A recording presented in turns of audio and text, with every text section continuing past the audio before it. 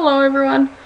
Today I'd like to go over how to download and install MeCab, as well as mess around with a couple of their modern dictionaries, and also show you how to change a system setting that will be the difference between gibberish and actual good Japanese text. So let us go to our browser and we're going to go and download MeCab. So open up whatever browser you have Go to Google, type in MeCab, M-E-C-A-B, hit enter. It should be the first result that you get, the mecab.sourceforge.jp. Open that up, and about the fifth bullet down you'll see downloads, so click on that. What we want is the binary package for MS Windows. I'm operating on Vista here. I know 7 will work on that.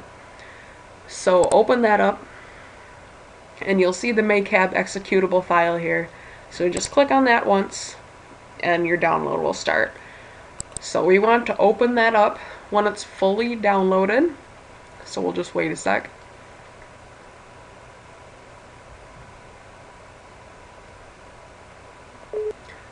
Allow, of course. Now this is just like any other installer, pretty easy and simple, but there's one thing that we have to think about here, and we'll click next. The first thing you come upon is the dictionary character set. So what we want is Shift JIS. Sure, a lot of people might think that you might want to go with UTF-8 because if you're familiar with using that with school email so you can see Japanese text, but UTF-8 in this situation is only for people who are eventually going to be using it for Python and different code settings like that. So we want to stay with Shift.jis because this is a very simple introduction video. But when you do get into Python, I'll show you how you can go and easily change the dictionary. It's super simple. But right now, let's stay with Shift.jis. So click Next, Accept, looks alright, looks alright, and Install.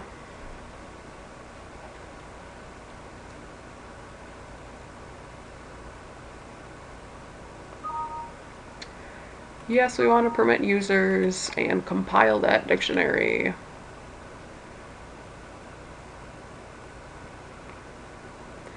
So click finish, we can exit out of our browser here.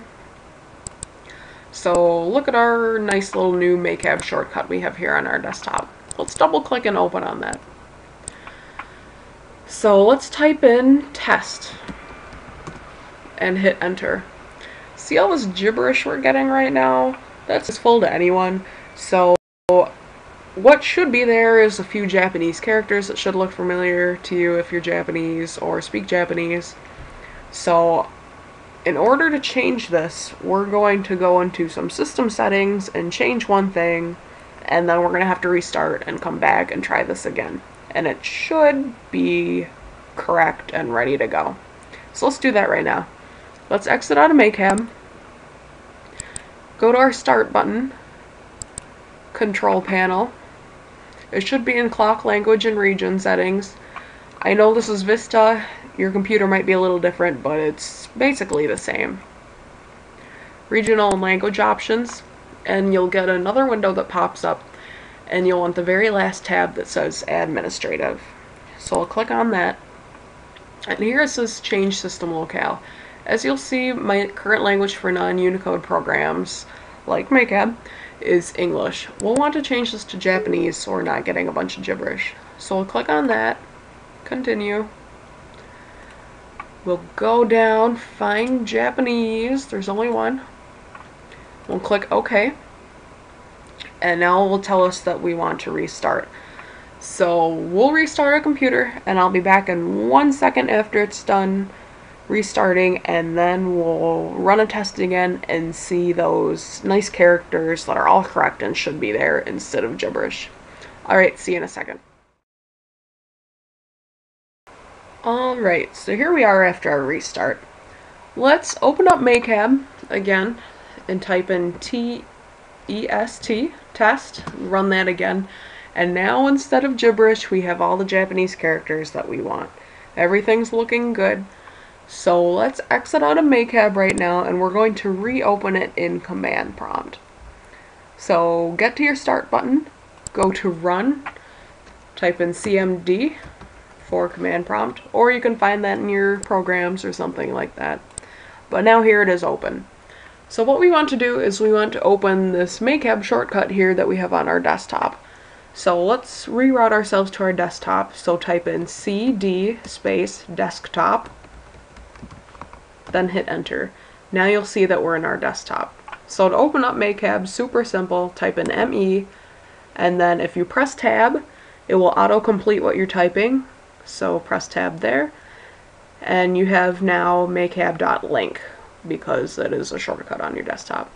So now we have that open, press enter, and you'll see that it works because mecab.lnk is up here. So let's just run the test just to be safe. T-E-S-T, enter, good, everything's showing up the same. So way to get back to your desktop is all you do is hit Control C. That'll give us the uppercase C and take us, as you can see, back to desktop. So let's type in MeCab, M-E tab. And now if you type in dash or space dash H, it will take us to the help file, which is a bunch of different codes of what to put into command prompt for doing a bunch of different things like insourcing and outsourcing files, checking out your dictionary, using fi files as resource files, things like that. So what we're going to want to do is, remember when we were installing it and we looked at the dictionaries and we chose Shift JIS? We can check that and make sure that is the dictionary that we're using right now. So let's do that. So let's open up MeCab again, ME tab, and now we're going to do space dash capital D for dictionary. Then we're going to press enter, and see here is Shift JIS. So that's what we want here. But if you are planning on using Python or something super fast and you want to use UTF-8, we can easily go and change that. So let me go and show you how to do that now. What you're going to want to do is recompile your dictionary. So click Start, All Programs, go to MeCab, and then here, it's easy as can be. All you have to do is click Recompile UTF-8 Dictionary, and it will do it super fast. All you have to do is wait for it to download completely. Now we can check that it did that by once again go going to Command Prompt, hitting May tab, space, dash D, hit enter, and now you can see it's UTF-8. So that's good if you want to use Python and stuff. But as for right now, I want to use Shift JIS. So I'm just going to go back, change it really quick again, start all programs, MeCab, Shift.js dictionary, compile that in two seconds, and we'll be good to go. But of course, we'll check it just to make sure, because I'm always double check everything. So back in command prompt, MeCab, space, dash D, Awesome, we're back in Shift JIS. Cool. Alright, so now we're getting to the good stuff, what we actually want to do. We want to parse some Japanese text, some modern text right now anyway. We'll get into classical maybe in another episode. So what I have here is I have this text file over here on my desktop. Use Notepad for this, regular Notepad. You could use Notepad++. You'll probably want to use Notepad++ anyway, but I just have this in a regular text doc. So let's open this up just to see. I took some stuff from the internet about clouds. If, I guess I wanted to do something about clouds here. So let's put some spaces into this using MeCab from command prompt. So let's X out of here. It's still here on our desktop. So what we want to do is once again open up MeCab, M-E, and press tab. So what we want to do is we'll space and then we'll type in CL tab. So there's our clouds.txt. So what we'll want to do is do space hyphen capital O for inputting files here. And now what we're going to want to do is type Wakachi, which is the parsing part of MeCab W A K A T I. Then we're going to do space, hyphen little o, so it will dump us into a new text file. So right now I guess we'll do just clouds again, C-L-O-U-D-S. This is just renaming it, and then we'll do underscore spaced, or whatever you want, dot txt. So doing this will take this text file and it will create another one that will be all parsed for us. So let's click enter and see what happens. Ta-da! Here we have clouds spaced or parsed. Now let's open this up and here everything is parsed all nice with modern text. So now that's everything that we want. Another thing that's really cool about MeCab is that if you go into it, bring everything up again, we'll use clouds again. We can actually do Chasen, which is a POS type thing, parts of speech. It will show every single word in your text document and it will show and tell you whether it's a noun or a verb or a particle of speech, which is also really cool if you want to do something like that. So same thing, except we'll change Wakachi to Chasen.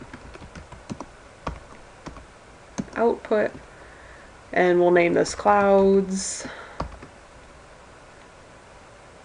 pos.txt. Now we'll hit enter and see what happens. Ta-da! Another one showed up. So here's all your different words and things like that. It shows you whether it's a noun, and it will show you the pronunciation, the kanji for it if it has some, which is pretty cool. So I think that's all I have for you today. Hopefully you liked it we're going to be going over how to put in classical dictionaries, which is a little more challenging, but we'll figure it out. So hopefully this helped you, and if you have any questions, let me know. Okay, thank you.